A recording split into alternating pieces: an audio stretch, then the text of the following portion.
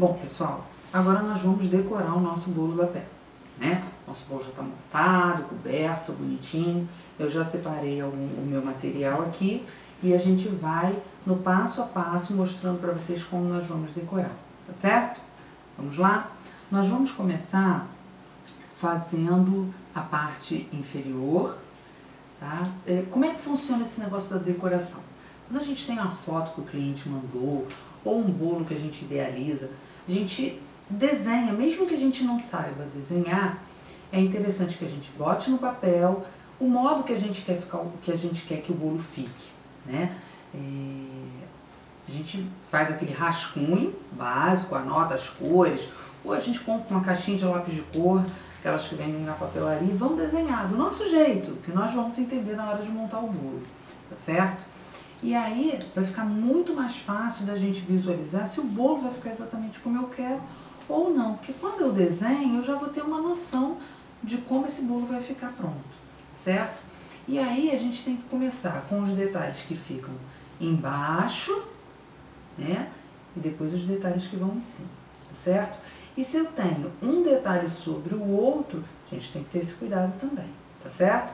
Observar como nós vamos fazer, o que vem primeiro, se eu preciso deixar alguma outra peça eh, secando, se eu quero algo que vai ficar em pé, eu tenho que ter esse cuidado de fazer isso com antecedência, para que na hora, ah, eu fiz, aí nesse dia tá chovendo muito, a umidade do ar tá muito grande, e aí aquela decoração que eu fiz tinha ficado linda, amolece, fica toda desconjuntada, e não é isso que a gente quer para o nosso bolo, certo?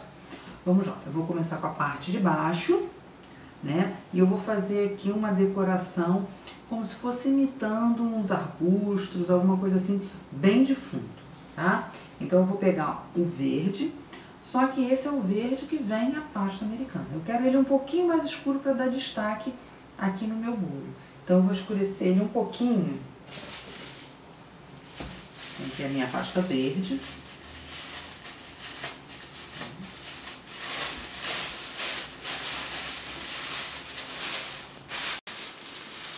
Bom, vamos lá. Eu tenho a minha pasta verde aqui, né? Eu quero escurecer ela um pouco.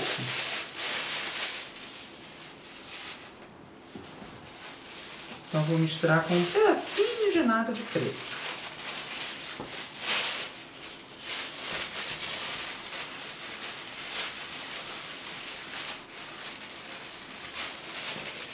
Eu boto um pedaço pequeno, pessoal, para poder ver se chegou o tom que eu quero. Se não chegou, eu misturo mais um pouco, entendeu?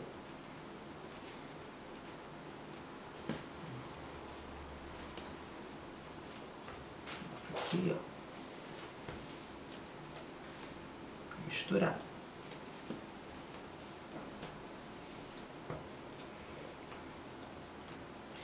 Ih, Ana Paula, esse ficou mais escuro do que eu queria. Não tem problema, boto mais um pouquinho de verde. Eu nunca posso misturar toda a minha pasta, ok? Se eu misturar toda a pasta, aí eu depois não tenho como mudar isso.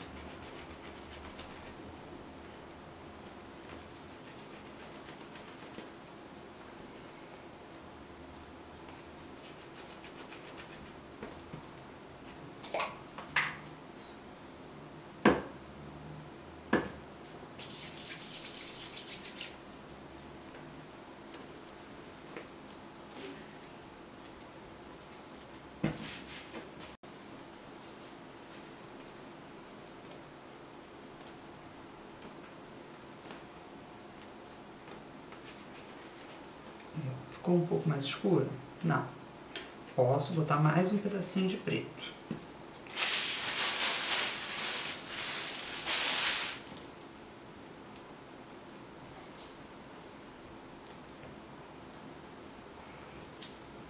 Ou poderia também, pessoal, se eu tivesse um verde mais claro, fazer uma tonalidade mais clara, tá?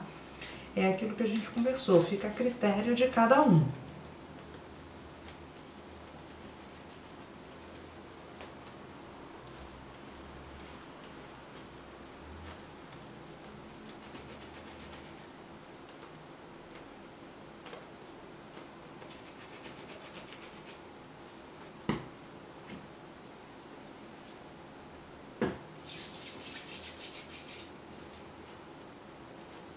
Hidrogenada eu passei na mão, porque como eu estou manuseando muito a pasta, né, a quentura das mãos faz com que ela agarre.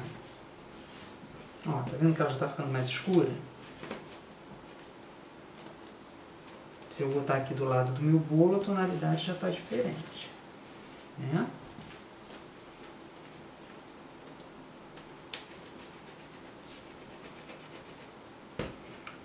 Havia um pouquinho para espalhar.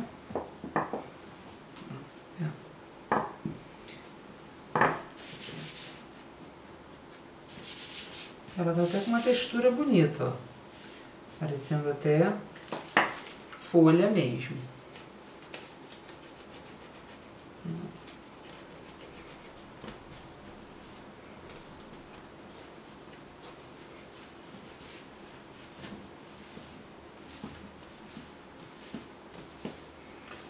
Agora eu já atingi uma cor que para mim tá bom, me satisfaz. Então eu vou agora abrir essa pasta e vou cortar aqui o que eu quero para colocar na lateral do meu bolo, tá? Vamos cortar agora.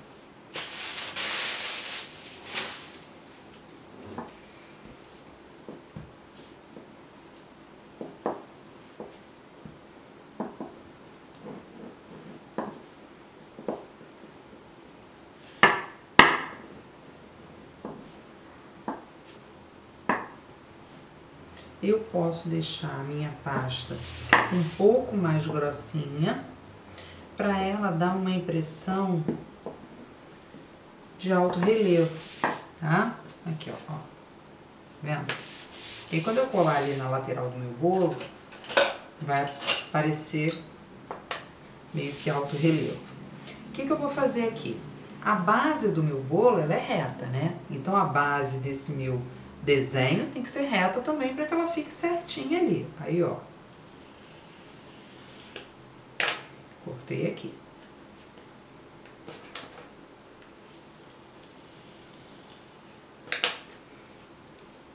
Ah, precisa medir, precisa de régua.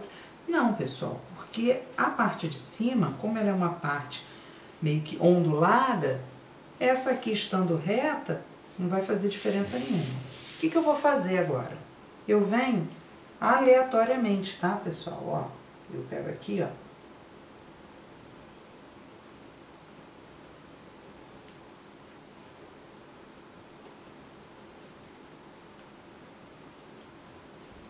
Tá certo? Ó, já tem duas partes aqui.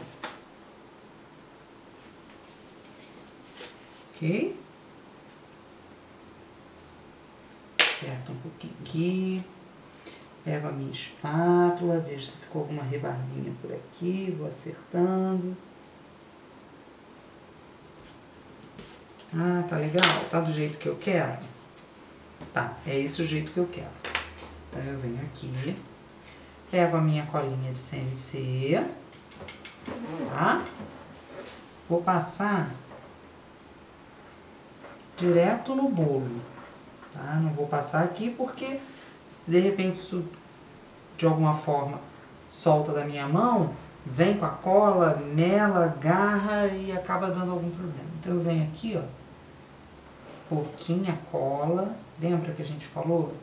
Não pode ter muita cola. Cola demais não cola.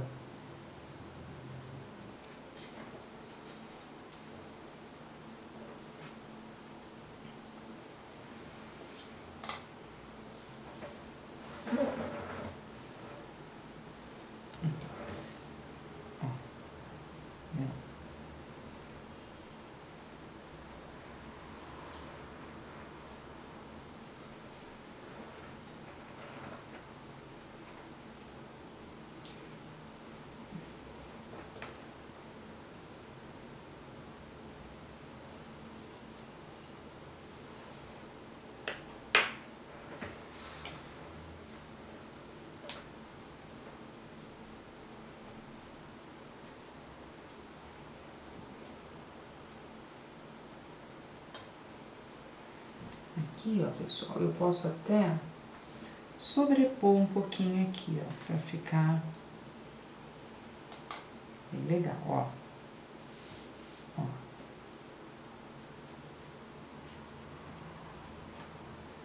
Certo?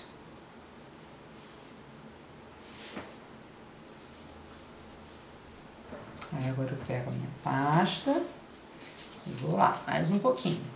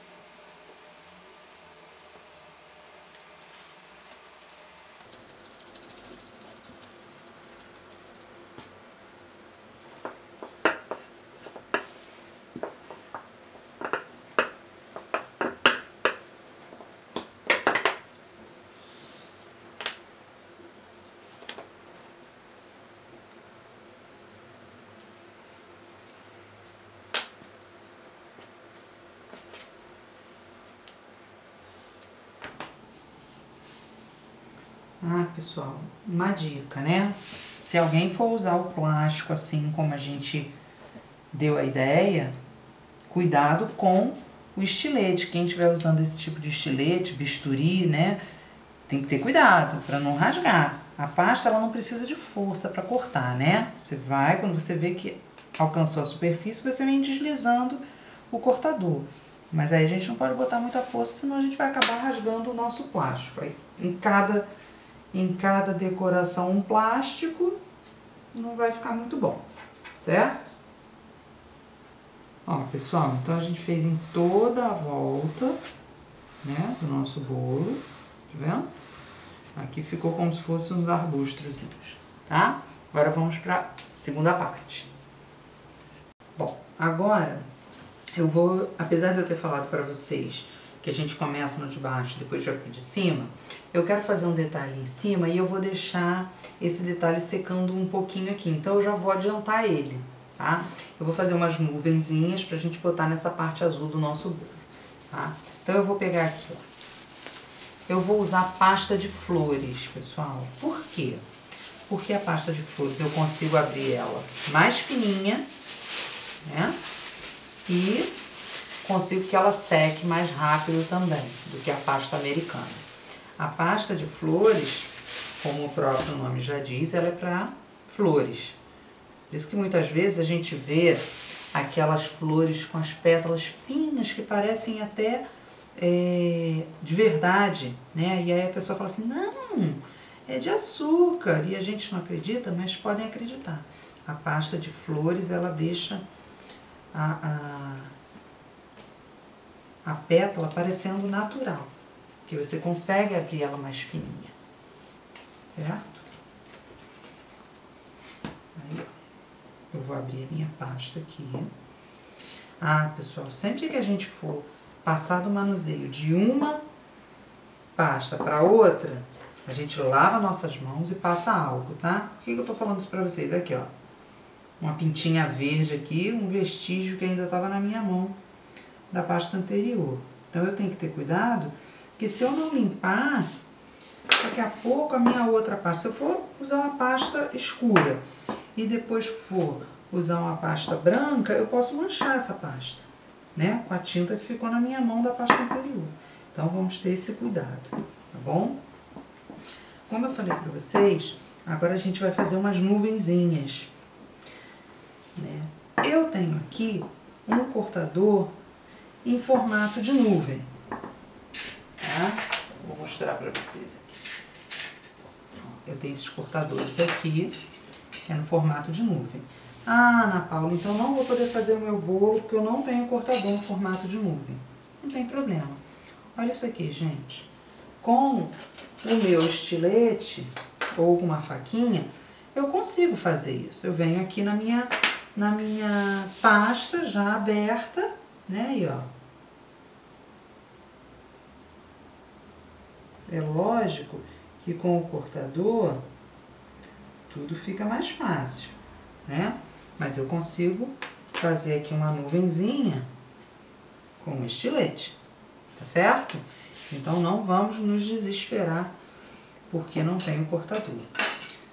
Lógico que nesse mundo da confeitaria, principalmente hoje, nós temos muitas ferramentas que nos auxiliam e facilitam o nosso trabalho e a gente ganha muito mais tempo. Né? Mas não é porque não temos essas ferramentas que vamos deixar de fazer os nossos trabalhos. Aí eu venho aqui, ó, vou medir mais ou menos o tamanho que eu quero da nuvem, né? Pode ser um pouco maior, pode ser um pouco menor, né? Então vamos lá. Eu vou fazer três tamanhos.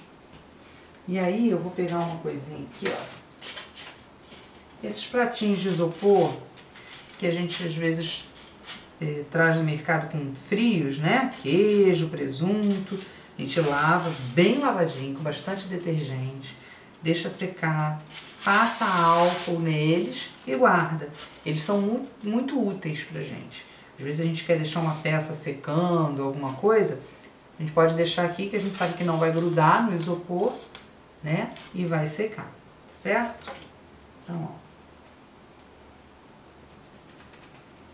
Vou cortar minhas nuvenzinhas aqui.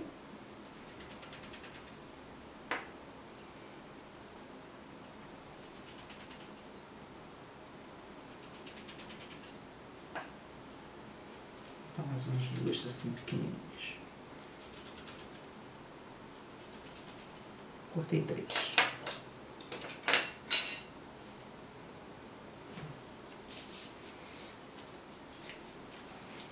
Minhas nuvens estão cortadas. Aí o que, que eu vou fazer agora? Eu vou pegar elas com cuidado. Olha como fica fininho, gente. Vocês estão vendo? Fica muito fininho. Aí aqui com o nosso dedo, se ficou alguma rebarbinha, a gente vem aqui, ó. Tem isso também. Às vezes a pasta deixa uma rebarbazinha, mas não tem problema. Que a melhor ferramenta que a gente tem, e que todos nós temos, não só alguns, todos temos, são as nossas mãos. Com as nossas mãos, nós conseguimos fazer detalhes que ferramentas às vezes não fazem, tá?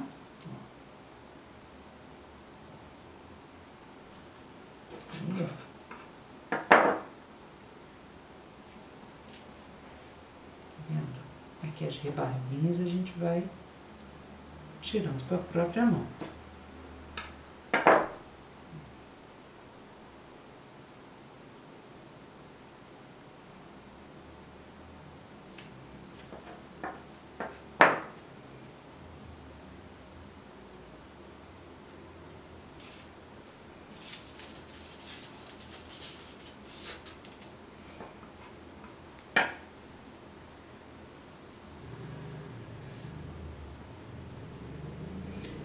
Aqui, ó, vou deixar elas retinhas. Para que elas sequem assim. Eu quero que elas sequem assim, bem retinhas. Eu quero que elas fiquem durinhas. Que eu quero dar um efeito bem legal ali no meu bolo. Com elas passando da borda, como se fossem mesmo umas nuvenzinhas voando. Tá? Vou deixar aqui. E agora eu vou fazer outra coisa.